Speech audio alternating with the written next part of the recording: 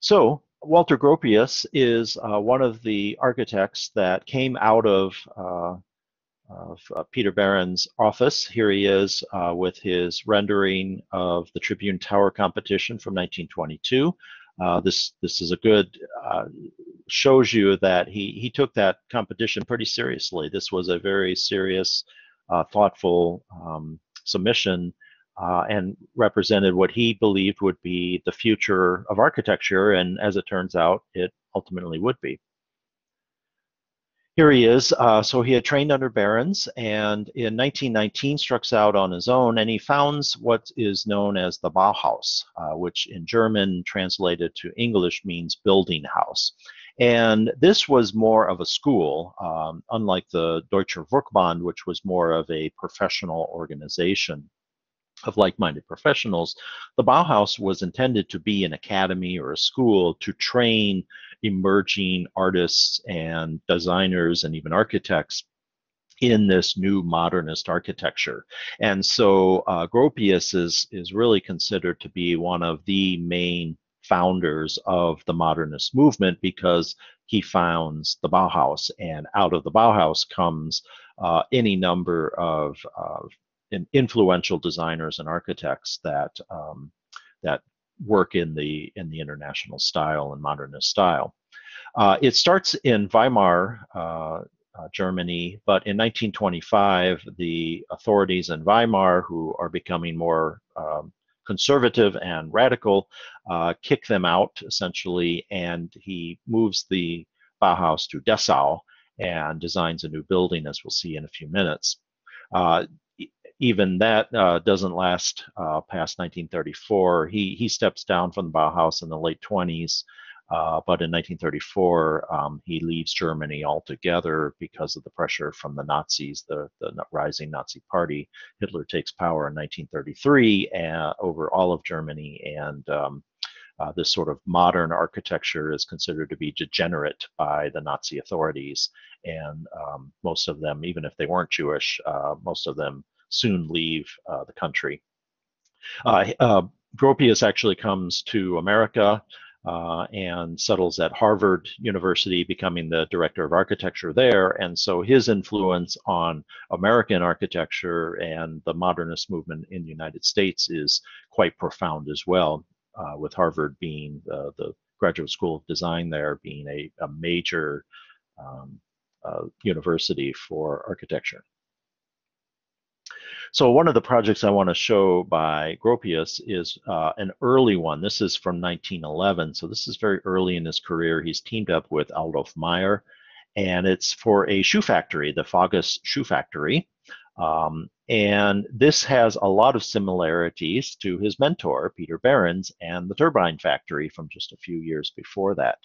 Uh, it's doesn't have the uh, sort of bowstring roof uh, form. It's a much smaller building as well. And he uses a lot more masonry instead of the pure steel along the side that Behrens used. But the front entranceway, get my clicker here, the front entranceway has definitely some of those same forms that the turbine factory does. It's brick masonry, it has the horizontal lines. He doesn't romanticize the brick uh, and sort of cant it and curve it. He creates a much more geometric, squared off design here. But uh, you see that lasting influence.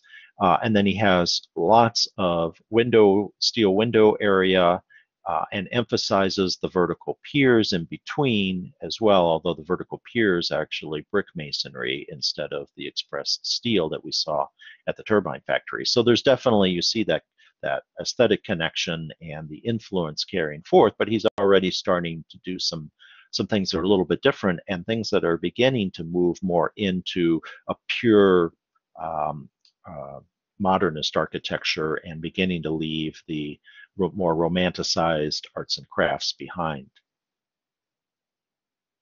Here's a historic photo of the factory. Uh, this also fortunately survived the war and has been nicely restored as well. And one of the things I like about this photo is you see in the corner window, you see this open stair that uh, will become quite famous in modernist and, and especially Miesian architecture. You see these types of stairs in Mies's buildings quite a bit as well. So a little bit about the Bauhaus. Uh, as I say, this it's really literally translates into building house. Uh, you could also think of about uh, as design or architecture house uh, is what it is really meant to uh, imply. So gave you a little bit of the background already. And um, many people began to refer to this new modern architecture coming out of Germany as sort of the Bauhaus style. They associated this design school uh, with, um, with this new design and architecture. And it wasn't really just architecture. There were all different types of um, artistic um, genres coming out of here. Uh, here's the manifesto that Gropius says, you know, forging all forms of art into a single whole to bringing back together all artistic disciplines, sculpture, painting, arts and crafts, manual trades, and making them integral components of a new art of building. And uh, this really emphasizes the idea that uh, even though uh, there the, the modernists are going to reject the arts and crafts movement and the romantic ideals of it. They don't reject art. They don't reject design. Uh, they, they want to integrate all the different aspects of art and design into a whole, uh, and that includes architecture. Uh, but what they don't want to do is trivialize art and, and just apply it randomly to buildings and to architecture. Uh, there was a whole course of study. Uh, you could study architecture, painting, sculpture, uh, um, and uh, various trades like bricklaying or stucco. Um, and uh, there, you know, there were I know, several hundred students at any given time doing any number of different things. Architecture was only just one small component, really, of the overall school. Here's a chronology. I won't go through all of these. As I mentioned, it starts in Weimar, moves to Dessau in 1925, and uh, that's an opportunity for Gropius to design a whole new campus complex, uh, which becomes the famous Bauhaus building design, as we'll see. He resigns in 1928. Uh, Mies van der Rohe takes over in 1930 for just a couple of years, actually moves, uh, once he's kicked, they're kicked out of Dessau, he moves the school officially to Berlin, uh, but it's really just um, sort of hanging on by a thread and in, in name only because the Nazis have all but shut it down. And uh, uh, Mies himself uh, goes ahead and closes the school and eventually also comes to the United States. So here's an historic photo of the, the, the Dessau building, the Bauhaus. So this is the famous um, expression of the ideals of the modernist movement and one of the very earliest full expressions of this design movement here. So unlike, say, his shoe factory, and you can see some similarities on the, the left, this sort of mass out front that is, uh, in this case, stucco and masonry, and then the uh, sort of expressed window wall along the side. Uh, but uh, he's eliminated even the little vestiges of the arts and crafts movement that were still uh, apparent in the shoe factory and certainly in Behrens turbine factory. So there's no longer these horizontal lines. It's just a flat, smooth, monolithic surface of in this case stucco or you know it could be concrete uh, as uh, as well in in later projects as we will see and influenced by Unity Temple uh, just simple geometric openings filled with steel windows and of course down the side we get a an image of the glazed wall that is completely glazed. It's not clad with uh, masonry uh, at all. It's just pure um, steel and glass. We also see there's a number of outbuildings, and in this uh, axonometric drawing of it, uh, it's it's a campus that's all connected together uh, into different components. And so down here at the bottom, there's a housing area. Uh, this up here is the section we just saw and is where the studios and workshops are. And then there's offices and classrooms in this wing coming over here. And if we look at the floor plan, we see that uh, as well. We see the, the portion with the workshops and laboratories, the open spaces down here, the student housing over here, and then the administration and the uh, classroom space. And the plan is like a pinwheel. It sort of spins around these wings stretching out. And once again, we look at Frank Lloyd Wright and we see that influence that um, his his planning would have had on these early modernist architects. So this is an aerial view of the Darwin Martin House in Buffalo from 1905, and we see next to it the Wasmuth print uh, in plan. And this was a, a larger complex, so we see the house, the main house, down here at the bottom, and then there was a garden walkway or um, uh, passageway that leads to uh, sort of a garage and, and carriage house and a and a um, greenhouse, and then there's another house, a, um, essentially a guest house over to the side here in the upper right. You can see that over here in the upper right of the photo. And it all sort of stretches out in these different wings. And you can see that sort of planning influence now carried over into the Bauhaus very directly. So here's a few views. Uh, it, the building um, suffered for many, many years, actually. This was, uh, Dessau wound up being in East Germany after World War II. Uh, and it was difficult to get to and uh, not well cared for. And of course, it no longer served as a design school after the Nazis closed it down.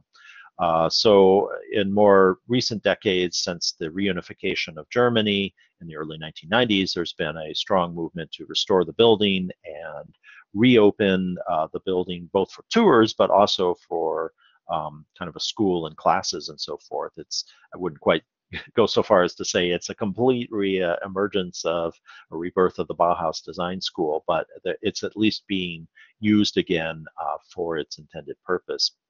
And so we see that same view that we saw in the historic photograph, and we see this monolithic, uh, smooth uh, stucco finish with just these uh, simple window, rectangular window openings and a, a, better view along the left of the glazed wall that is nothing but steel and glass.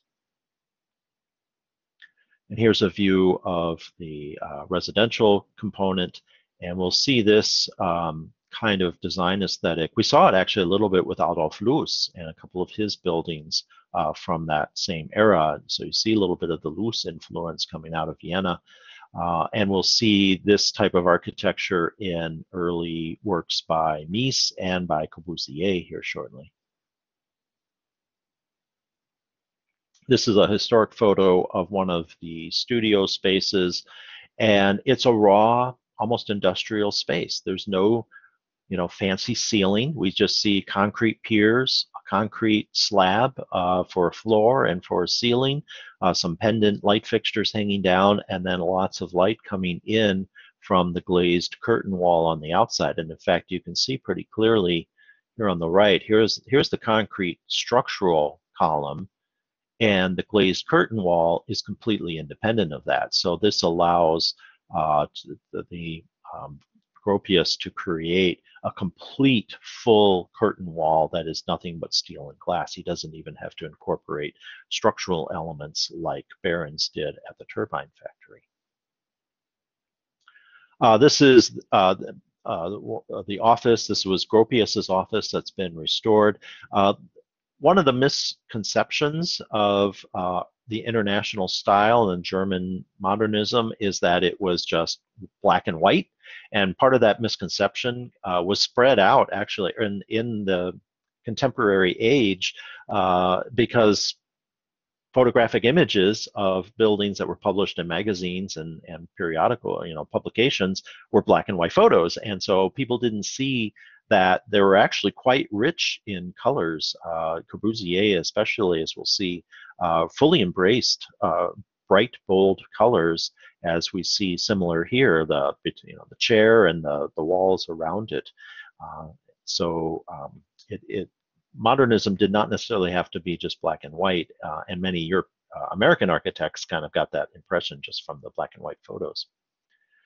So I'm just going to give you a quick uh, some examples of uh, some of the various uh, products that came out of the Bauhaus in the different schools or, or, genres that they were working in. This is a graphic design uh, promoting, uh, this is actually when it was still in Weimar from 1923, but you can see in graphics very strong geometries, the bold colors, uh, and devoid of heavy ornamentation, certainly organic ornamentation that was characteristic of the arts and crafts and Art Nouveau.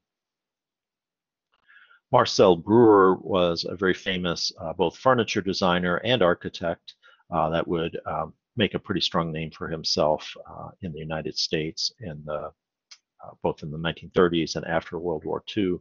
And this is one of his famous nesting uh, tables, uh, also in bright primary colors, uh, but with very simple um, chrome metal framed uh, simple design. You know, nothing extraneous uh, nothing frivolous is in uh, the design here, but they're still visually interesting and well scaled and proportioned, and the colors, of course, add a lot of visual interest to them as well. Uh, art and painting were definitely a huge part of the Bauhaus. Uh, Wassily Kandinsky was perhaps the most famous artist to um, work with uh, with the Bauhaus and emerge out of it. And uh, Mies van der Rohe especially um, was very open about the influence that Kandinsky had on him as an architect. Uh, and in fact, and we might see this later when we talk about the Barcelona pavilion, but notice how Kandinsky uses these lines that sort of float and slide past one another and Mies interprets this in an architectural form uh, uh, in planning that we'll see uh, shortly with the Barcelona Pavilion. Uh, photography, uh, Laszlo Moholy-Nagy uh, was a very famous um, graphic artist and photographer to emerge out of the Bauhaus and taught there. He also would come to Chicago in the 1930s and create the Institute of Design, which uh, I think at first was affiliated with the School of the Art Institute, but soon uh, was connected to the Illinois Institute of Technology. And Mies's um, building, Crown Hall, which is primarily serves as the architecture school at IIT, where Mies also came, uh, also served as the home for the Institute of Design, and uh, which is kind of ironic because Mies and Nagy hated each other. They were kind of rivals to each other, and and Mies wasn't too happy about having to create space for um, for the Institute of Design in his uh, architecture building. Um, there's there's actually a story that he that he stuffed them down in the basement. Uh, which which isn't really quite true. Um, it's more myth than than than reality and that yes they were in the basement that's because uh, they needed uh, they didn't want the big open windows that the drafting studios got on the upper floor. They needed more enclosed spaces for dark rooms and things like that. Uh, fabric arts also were a significant part. This is by Elsie Moglen, I think it's how you pronounce her name, uh, a, weaving. Uh, women were actually a pretty significant, played a pretty significant role at the Bauhaus as mostly as students and at times as instructors as well. Um, there was a, a much more embrace or openness to women being in uh, in the arts and in the modernist movement, um, still with limitations that come with the you know, limitations that women still faced and discrimination that they still faced in the 1920s uh, and through much of the early part of the 1900s. But uh, there was there was definitely a much more openness to uh, sort of progressive ideals, which includes feminism, and we we definitely see quite a few um, talented uh, women designers emerge out of the Bauhaus as well. Uh, so this is a fun little historic photo. Uh, in their free time, uh, they, the, the Bauhaus students, they like to party. And this is a photograph of a costume ball in which uh, all the participants had to uh, create their own costume. And um, this is almost like a little atomic space age, some of these things. Um, and you can see quite a few women uh, were participating in this as well. pretty, pretty funky. There was a, um, I didn't include a photo, but there was a, a design exhibit at the Elmhurst Art Museum uh, last year, uh, and they had a couple of the costumes. None of them are the ones that show up in this photo, Uh, but they're they're pretty funky little costumes that look like they're right out of the 1950s uh, space movies that uh, Martians or something were attacking America. Okay, so uh, the other great architect to come out of um, Peter Behrens' office and early proponent and founder of the modernist movement is Le Corbusier. Here he is with one of his greatest works that I'll be showing you, which is Villa Savoye. Corbusier actually is a, uh, and nicknamed Corbu, uh, is actually uh, a nickname of his full name, Charles Edouard Jeanneret. Uh, he was French Swiss. Uh, the, the, border between France and Switzerland is a little bit nebulous, and uh, he, he, I think he was born on the Swiss side of the border, but uh, in a region that uh, spoke French, and he always sort of associated himself more with France and, and lived for most of his career and life in Paris. Uh, he was trained as a painter initially, uh, and kind of came to architecture a little bit later. He worked for a famous French uh, Parisian architect Auguste Perret, who uh, was uh, sort of a pioneer in concrete architecture. So doing concrete buildings about the same time that Frank Lloyd Wright was doing concrete buildings like Unity Temple, and uh, really learned the the techniques of concrete actually much better than Frank Lloyd Wright ever did, uh, who never quite mastered the the technical aspects of it uh, and became um, really uh, focused most of his work uh, in concrete. Uh, he also worked for time, as I mentioned, for Peter Behrens, and it was there that he was exposed more to the, the modernist and industrial design that similar to what we saw at the turbine factory. And so these different influences uh, kind of came together and created a, almost a unique architectural expression uh, that Corbu had. He was also very fascinated, as I'll show you in a minute, with the concrete grain elevators of the Midwest. And in one of his uh, books on architecture, he showed examples of these grain elevators, and I'll show you uh, how that fits into his architecture in a few moments. So initially, uh, his, ironically his most famous work isn't an actual building. It's it's more of a, a theory or philosophy on what a house should be, and it's it's called the Domino House, uh, and it dates from 1914. And uh, as you can see, it's not really a full-fledged house with walls and bathrooms and bedrooms and so forth in it. It's more of a conceptual idea uh, of what a house framework ought to be. And uh, he, he really felt that initially there should be uh, a structural system that was independent of everything else, of the exterior walls, of the interior walls, of the space, uh, that you create a grid of structure and, and that, that the house then forms in and around that. He also believed that uh, you should lift the house up off the ground. And you can see in the Domino house, there are these little sort of foundation piers that he sets it on and he shows you know a circulation space that is almost sculptural which we'll see uh, in short order and also flat slabs uh, both floor slabs of course but even the roof can just be a simple flat slab supported by the structural frame and that allows one to take advantage of a roof structure uh, in ways that a pitched roof uh, you cannot so out of this domino house, uh, Corbusier uh, creates what he called his five points of architecture. And this, these are very important um, philosophies that carry through, not just for Corbusier, but you'll see in many other modernist works. Uh, they might not always embrace all of them, but the, the overall philosophy pretty much holds for most of the uh, early international style projects. And so number one uh, is what Corbu called pilotis.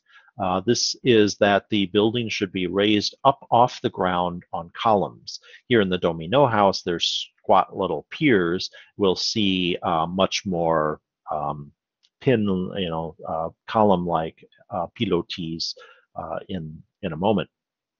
number two is roof gardens.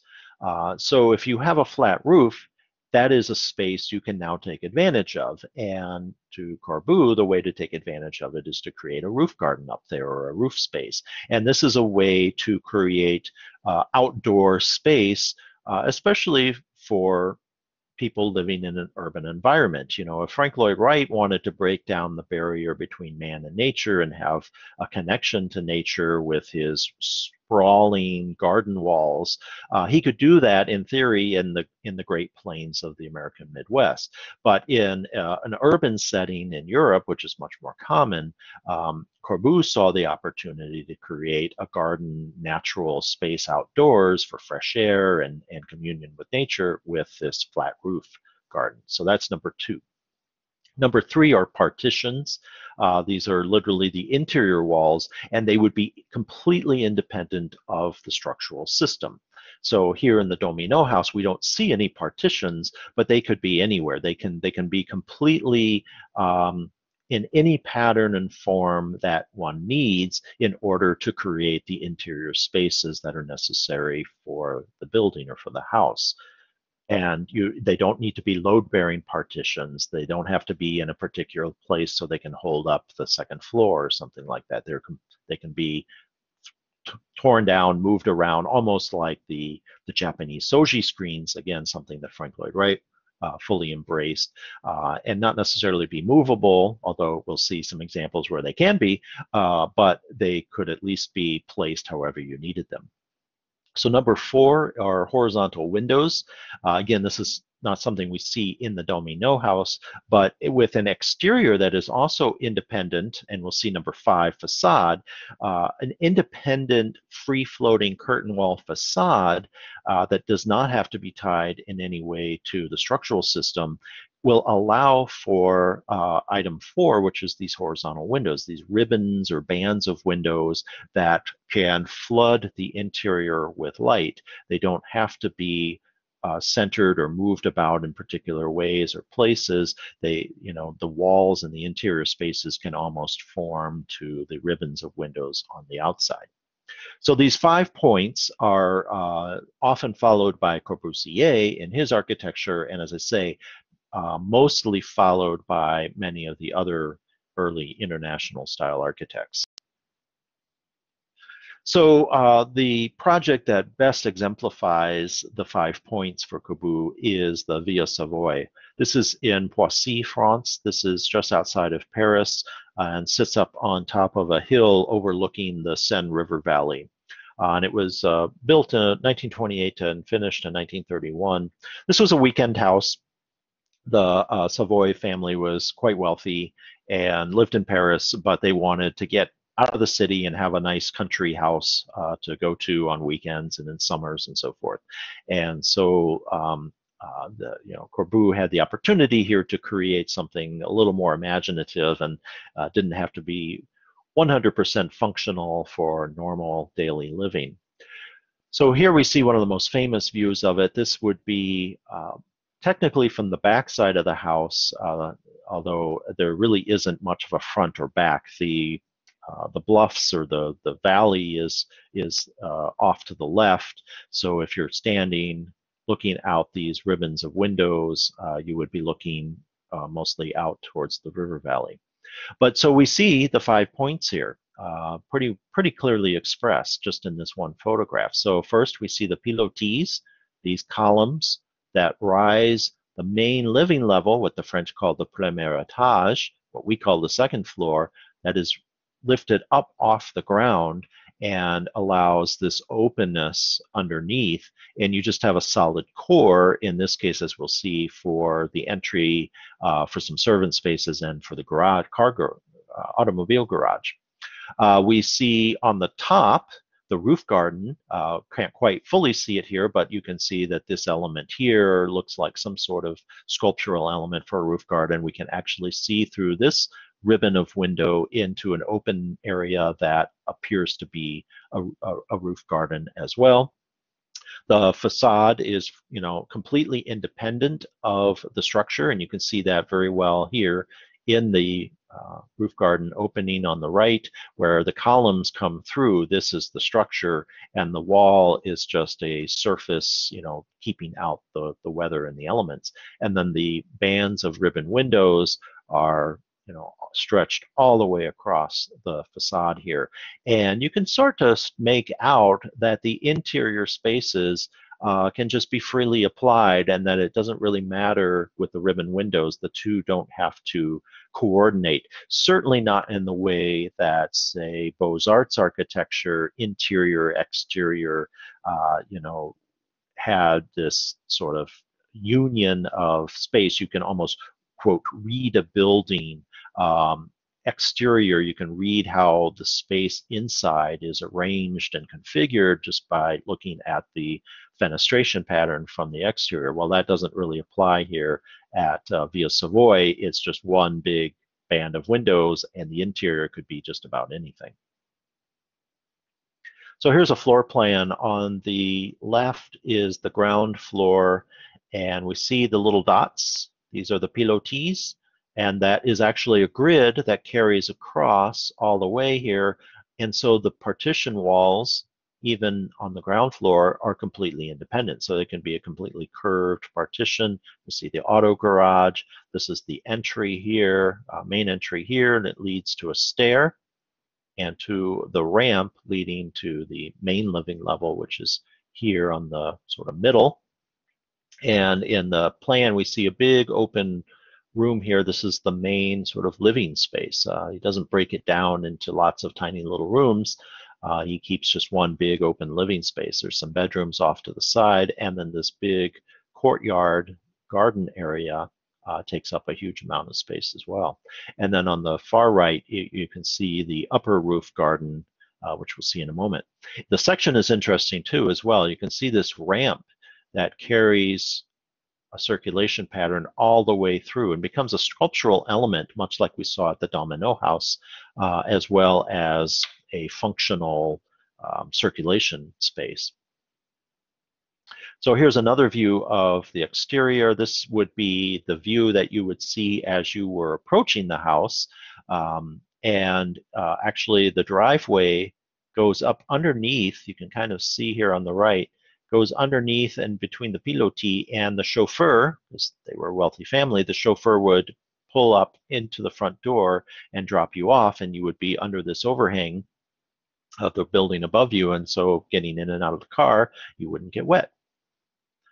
You did get wet inside. The uh, building leaked pretty badly, uh, and the Savoys were always very unhappy with Corbu over that. He never could solve the uh, leaking parts of the uh, roof and walls. Uh, so here is uh, the view as you would pull up in your automobile, uh, driven by your chauffeur, and the front door on the left here is this black opening.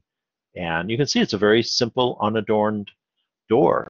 Um, this is very characteristic of the international style. There's no, you know, classical pediment or portico. There's no um, angels and putti floating around to sort of delineate the entrance. It's rather sort of uh, restrained and simple, which is the way modernist architects wanted it. And a view of the interior uh, showing the spiral staircase and a view from the ramp with the spiral staircase as you come up to the second floor.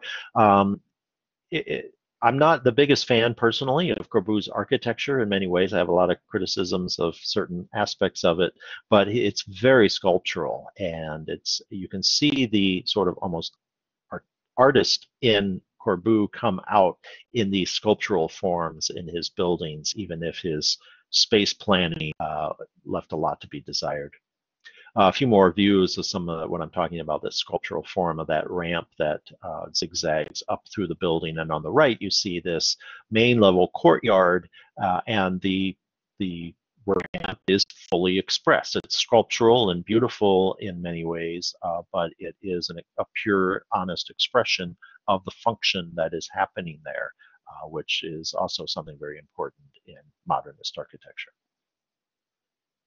And as you keep going up the ramp, you get to the upper uh, garden level at the very top. Um, it's it's a little bit odd. This is one of the criticisms I have of Corbu.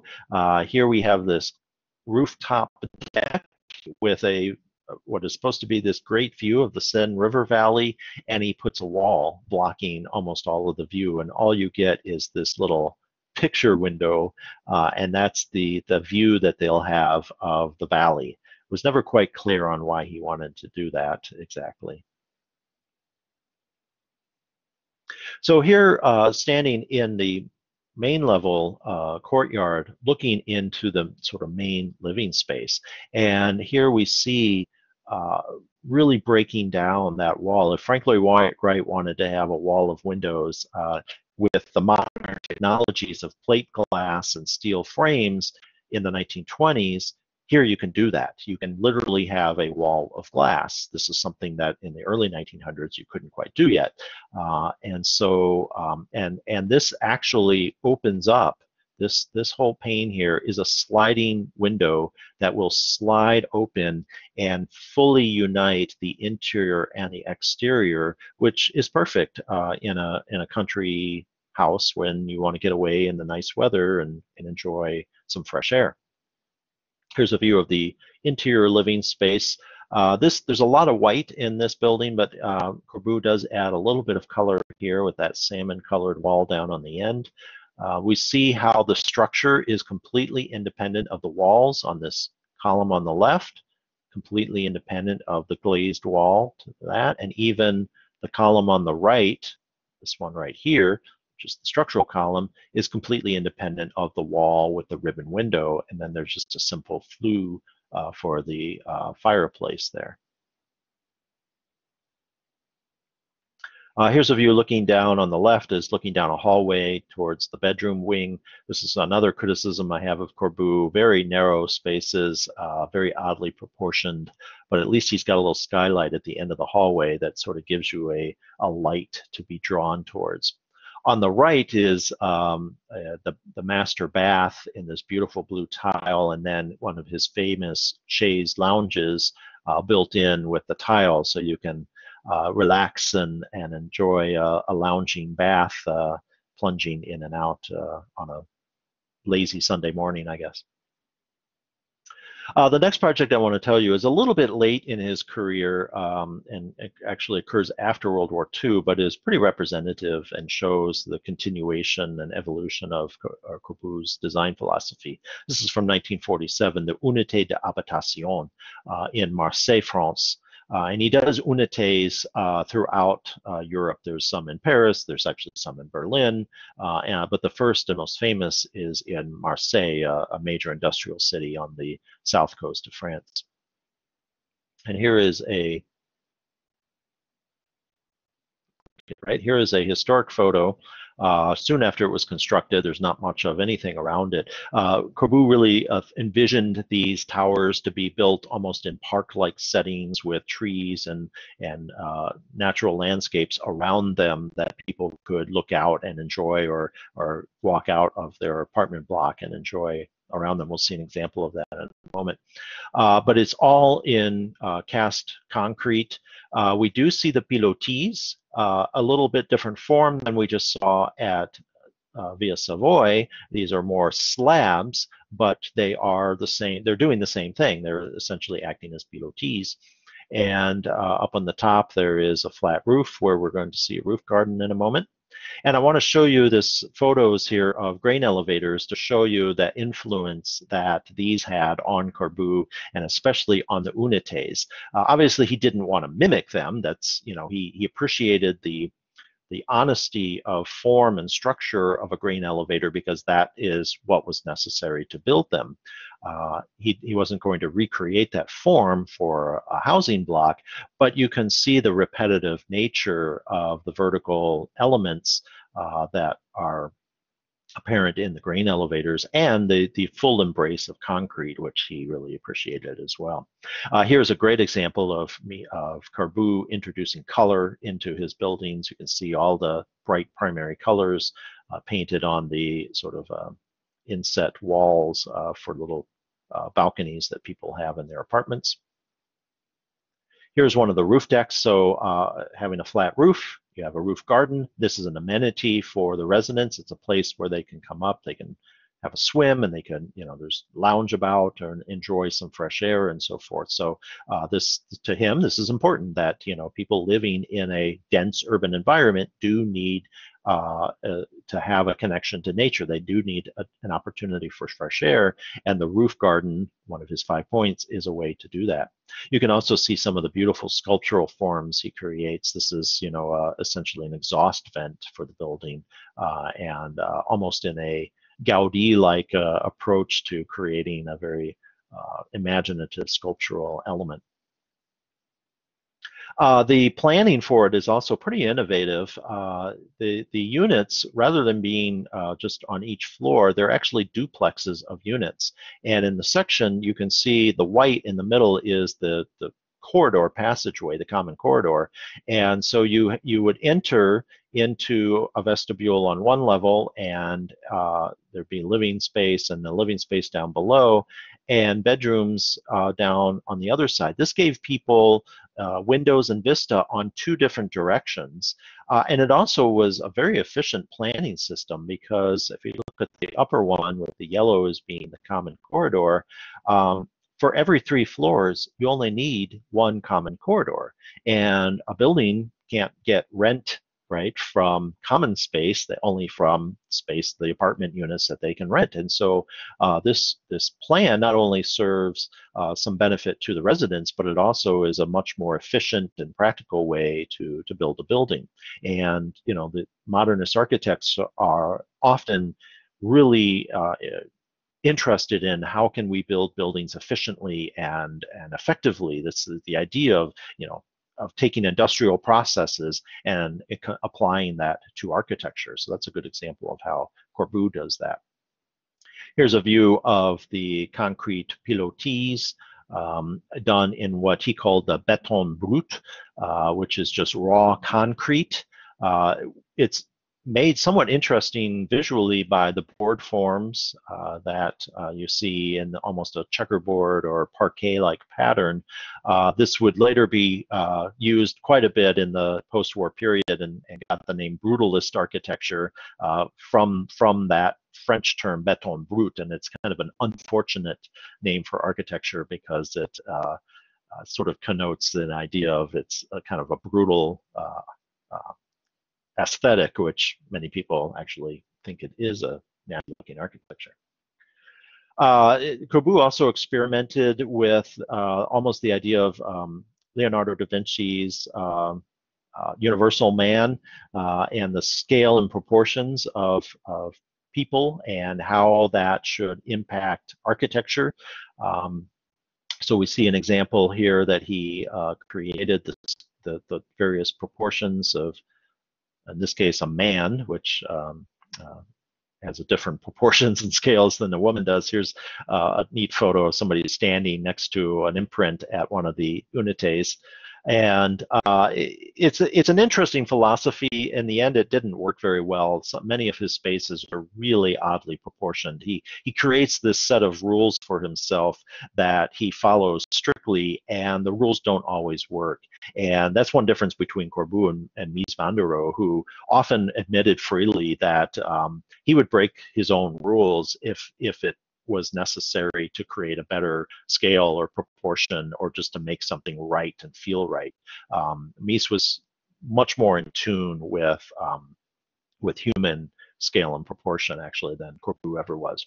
The last thing I want to show you for Corbu uh, is his Plan Voisin uh, for Paris. This was a design scheme from 1925, uh, and it was just a theoretical concept. I, I, don't think he was ever very serious about this, but his plan was to address the urban slum tenement housing problem that all major cities were facing, and including Paris.